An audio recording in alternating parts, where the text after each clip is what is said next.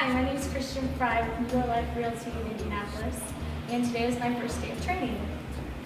And today we, we had been prospecting and we caught on a property and with Christina we went there with the photographer, were able to get the pictures and talk to the landlords about the benefits of the rent program with Your Life Realty and got it signed up for uh, 13.29 per month for a year lease and show it and get the property leased.